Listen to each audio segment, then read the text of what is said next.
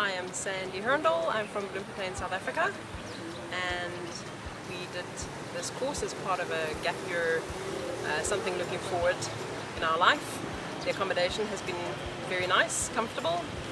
Uh, the excursions were the highlight for me, uh, riding on the elephants and doing the whitewater rafting. We had done whitewater rafting in the Zambezi and nearly died about 30 years ago and so this was a pleasant, a pleasant surprise because um, it was overcoming a fear and doing something fun.